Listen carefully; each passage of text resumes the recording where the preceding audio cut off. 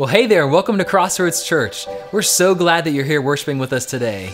Hey, if this is your first time here with us, we want to say thank you and that we would love to meet with you. So if you would, fill and tear out the Connect card that's located in your bulletin and put it in the offering plate, or you can hand it into an usher and receive a free welcome gift from us. Now, here are some upcoming events that we would like to share with you. Who's ready for an aw moment? We are having a Winter Wonderland Daddy Daughter Dance January 25th at 6 p.m. here at Crossroads. This is sponsored by the Crossroads Men's Ministry, with the proceeds going to help fund long overdue safety and facility upgrades for the Stars Preschool. It will be a fun evening of music, dancing, and refreshments. Tickets can be purchased online at mycrossroads.co and be picked up at the door of the night of the dance. Tickets are only $20. Did you know that Crossroads has an app? Well, guess what? We do, and it's amazing. You can follow sermons on Sunday morning straight from the e-bulletin. You can tithe, receive important Crossroads information, watch past sermons, and even watch our live stream. You can download the Crossroads Church app by going to your app store and search Crossroads Concord. So if you'd like more info about the events and the life of Crossroads Church, you can go to mycrossroads.co. You can also check us out on social media like Facebook, Instagram, and Twitter. Finally, you can download the Crossroads Church app by going to your app store and search for Crossroads Concord.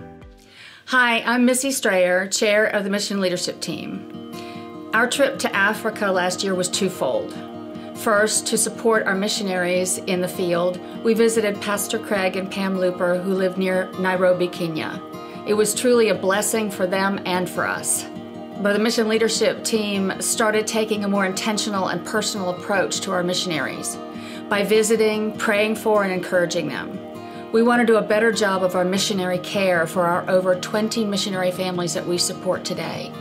The second reason for this trip was to plan our next trip this fall to Kenya. Pastor Craig took us to a few of the local outreaches and missionary teams that he works with so that we can figure out how we can partner with them in the fall we are able to do some prayer walking in the Ngong uh, slums, and it was powerful. We were able to pray for a woman named Esther who had been suffering from a stroke since the uh, spring. And within a few moments of prayer intentionally, she went from not being able to move the left side of her body to lifting her arm above her head and gradually walking across the room. We visited a children's home that is in desperate need of assistance a youth mentoring group providing education and hope to get young people out of the despair of the slums. It was definitely a heartfelt and heartwarming trip filled with lots of laughter and tears.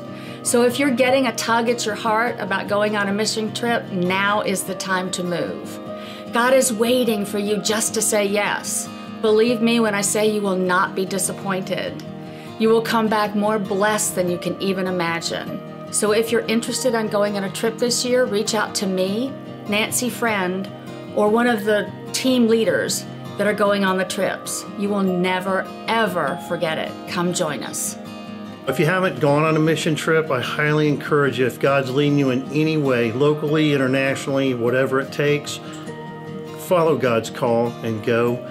This church has a fantastic outreach, and Cuba was just one example. There's many others and many choices to go, but I will tell you, it will bless you and the encouragement that you give these people to continue doing what they're doing in these countries is it's just beyond it's unbelievable. So go uh, get on the mission team support them in any way you can and listen to god's calling. Thanks